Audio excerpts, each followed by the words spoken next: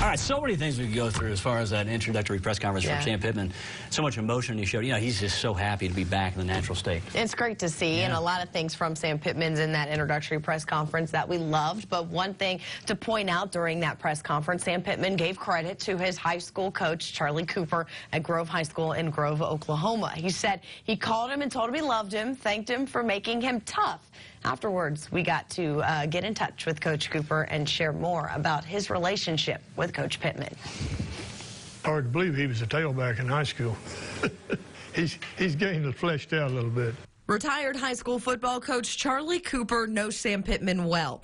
Now he's one of his biggest fans, but in 1979, Pittman was one of his players at Grove High School in Grove, Oklahoma.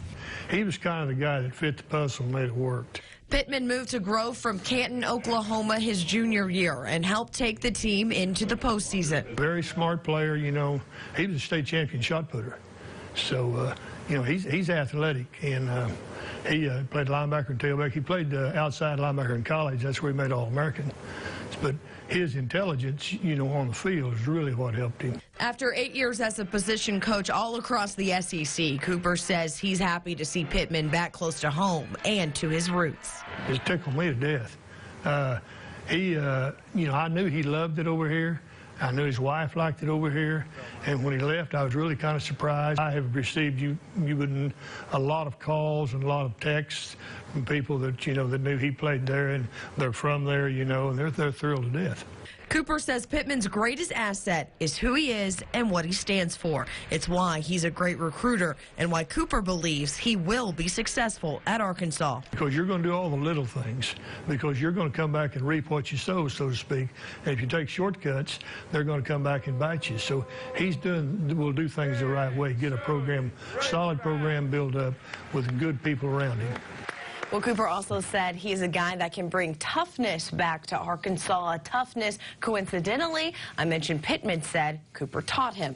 Charlie Cooper, a name most around here know Drew as well. He was the head coach and athletic director at Rogers from 1992 to 2001. How cool is Yeah. that? Such a connection mm-hmm. back to these roots that I'm sure not a lot of people know about. He had so many great things to say about Sam, and I want to start right there in the trenches with some of the things that he mentioned in terms of how he's going to make this team tougher, this program tougher, and that's really kind of speaking to what Hunter Yurachek talked about in the hiring process. He talked about one, got to get somebody who can really, really recruit.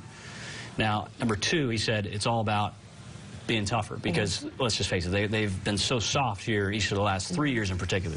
Well, you see, and you just go back to the offensive lines that he coached when he was here for three years with Brett Bielema, some of the toughest offensive lines Arkansas has ever had. You had Dan Skipper, Denver Kirkland, Frank Ragnow. Those guys didn't mess around. They didn't let Sebastian Tretola, they didn't let people push you around. And that is the attitude this whole entire Arkansas team needs to embrace. Yeah, as far as the staff, Justin Stepp stays on as receivers Yep. coach. As for Brad Davis and Barry Odom, we're talking about Davis coming on as the O-line coach, and then Barry Odom comes over. He comes over from Missouri after being fired by Missouri. He will be the defensive coordinator for the Razorbacks. Your take? Just quickly, I like it. I like it because Justin Stepp is a great recruiter. He knows the state of Texas, and obviously his wide receivers love him. And secondly, he has brought in two guys with SEC s- mm-hmm. experience, head coaching experience that he definitely said he wanted to lean on with Barry mm-hmm. Odom. Yeah, Davis with the experience at Florida as mm-hmm. well. All right.